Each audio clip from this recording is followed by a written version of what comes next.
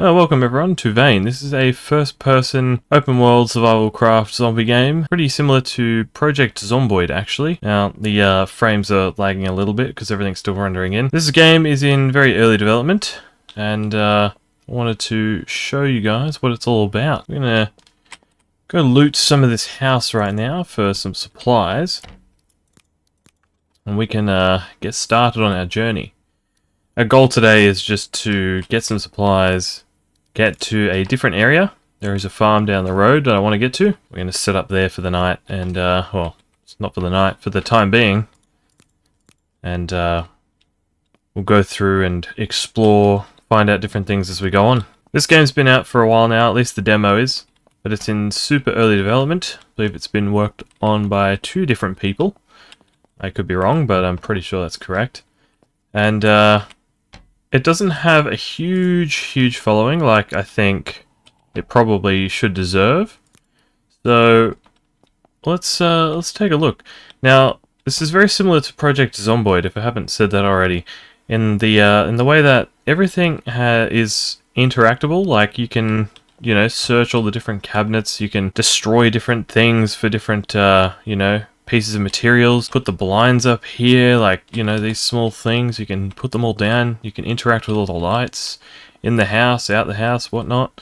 Um, but in also doing that, and, you know, you can also fill the sinks up with water and wash yourself and whatnot.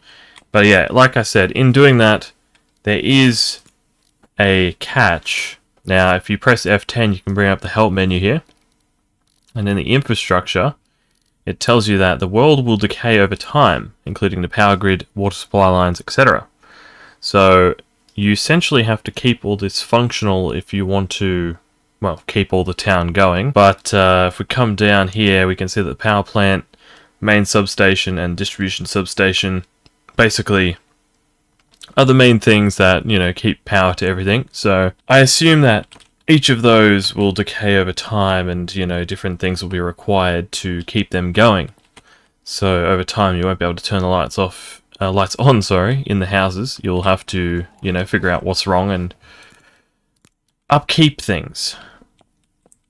But for now, everything works. There's a man who's had too much to drink outside. And, uh, so we don't have too much to worry about. And the game is, you know, still in super, super early development, so I don't think we need to stress too much about the whole grid going down. Because we're just here to have a bit of fun. Here to muck around. We're not playing legit, we're not playing super serious. Now, you can get different guns, different uh, weapons, a lot of melee weapons and stuff, but um, my, it's not going to be my focus so much. I just need to get a few supplies, and, uh, and then I'll feel a bit more comfortable about finding a car getting out of here. We've spawned in, and you tend to spawn in uh, in the middle of the main town. Let me see if I can vault this. Oh, no, I cannot. Oh, no, I can. I can sort of vault. It's a bit, um, it's a bit how you're going sometimes, but uh, manage then. Anyways, there's, uh, there's a whole bunch of different places to explore. It's not a particularly massive map, but you can play multiplayer as well, which is cool. What have we got in here? Yes. A photo frame, of course. I don't need a walkie-talkie. No one's going to be on the other end. A muffin. Love a muff. Tea bags, sinks. It really gives you an idea that you can just search absolutely everything. Sawdust is good because you can uh, start a fire with that, or kindling at least. And uh, there's stoves in all houses, or most houses, so you can cook on those, and you can see all the different recipes you've got unlocked down on the left here, which is cool. But uh, I'm more of a fan of, you know, eating out of soup cans. That's just my thing. More survivor-like. Oh, that's the back door. We don't want to open that one. Different radiators in different houses. That'll keep us warm. They seem to be working. Cool. And there are beds in houses too. That one's got nothing in it. Small pressurized tank. Sounds like it's leaking. I noticed that a lot of these houses have their uh, their garage disconnected from the rest of the house. Is that normal? Must be. So strange. Claw hammer. Now it's very um it's very picky about, you know, the certain items you need to do certain things. Like if you want to, you know, build certain things and you can press B and that will bring up the building menu. But um you do need like, you know, a hammer or, you know, screwdriver, certain things to to craft certain things or build certain things. So you've got to keep that in mind as well. Now, I don't know if it's the same for other people, but I do get quite large frame drops, um, you know, just playing this game. I'm not sure if it's because it's just trying to render everything or whatnot, but that's something to keep in mind. Uh, I don't have... I've got, like, moderately okay software. Sorry, I've got moderately okay hardware uh, to run games, but this struggles, so just something to keep in mind, because you don't want to be getting frustrated while playing it. And if uh, if you do try it, this is a free demo. It is on Steam. I'll keep the link in the description. If you do try it and it doesn't run well, maybe you just need to wait until the devs keep working on it, keep it optimizing, doing their thing. You might uh, be able to play it soon enough. Got a walkie, uh, sorry, a baseball bat there. We got a walkie-talkie and a lock, which is good. And you can move all these different things. Like you can move the beds uh, I'm not going to do that because it's very, you know, finicky to do. And the zombies can uh, can smash through doors and come into the house. So, because we've only got one exit, we should probably... You know what? I'm going to use the butter knife. Because I've used it previously, and for such a small item, it can do some terrific damage. Some good dismemberment. Come on, come on, give us some. Got to target the arms. There we go, look at that. We could take off both her arms.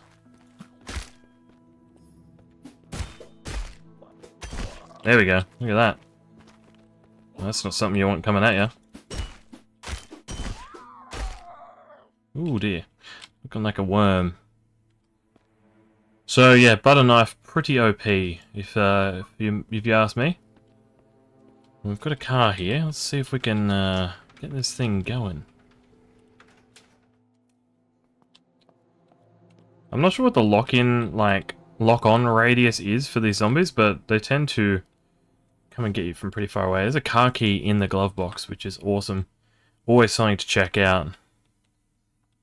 Let's turn this on. Let's put our knife away. Oh, there's a running zombie. Some of them do run, so you got to be careful of that.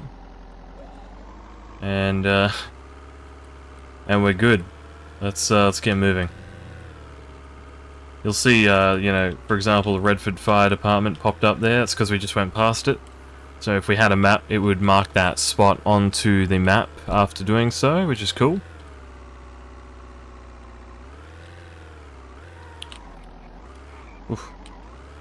Your head doesn't move when you drive your car, so you've got to sort of do both at the same time.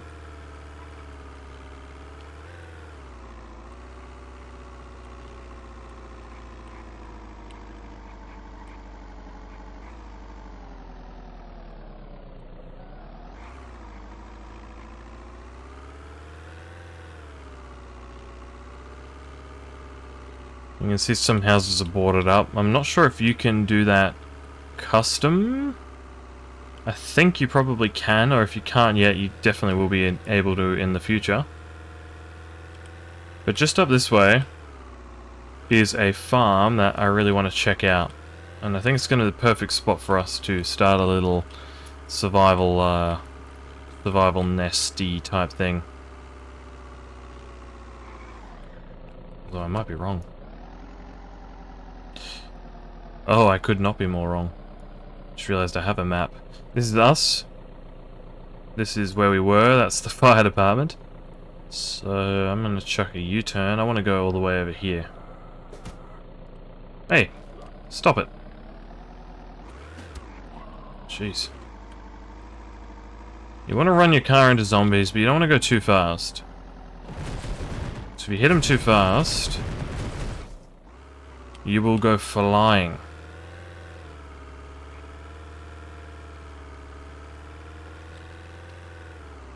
But yeah, so two two people are working on this game, two gentlemen, I think, and they are doing an excellent job in my books uh, for what they have. They're, I think this is just like a passion project. I don't know why my panic is going up. Is it because I'm speeding? Must be. Maybe I should slow down. Yeah, okay. Don't go too fast, people. Your character will start to panic. Um, very bit of a passion project, I think, but um, I've been impressed. The uh, you know, the game obviously still needs a lot of work, but I think with some funding, you know, or just some support in general, they could uh, really get this game going. Get like a lot of you know, cool communal stuff going. There's um, you know, Project Zomboid itself has a big community, so I don't see why this couldn't uh, do something similar. I've just gone past where I need to go. This video isn't sponsored, by the way. This is just, uh, you know, I've, been playing for... Playing a few different times over different updates, and uh, I really respect what they're doing, so... Alright. Here we are. So this is the farm I wanted to get to. Now, you can probably tell why I wanted... Well, except for that over there. Probably tell why I wanted to pick this place. Um, it, one, it's got animals, cows and pigs.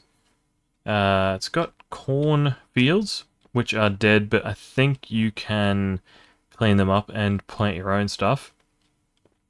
But it's also remote. And uh, I think one of these two barns, one of these two buildings here are going to be perfect for us to set up in. Just a quick look here. Turn that on. Just realized this has powers. Fantastic. That is not doing anything. There we go. Got a little quad bike in here too. So we have a repair workbench here to repair our different weapons and stuff if we need. Looks like we've got an air compressor, pesticide sprayer if we need it. It's broken.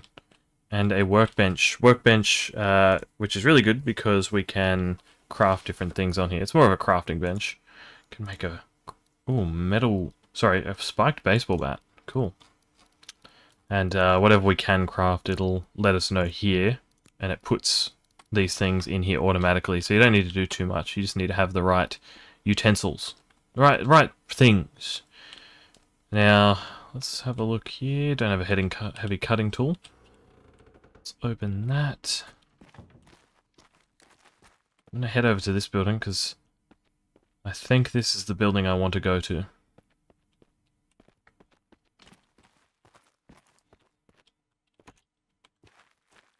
Oh yeah, this is the one. So we're going to lock that door. We're going to turn on... Oh, hold on. Is not... There we go. Turn that on. Turn that on.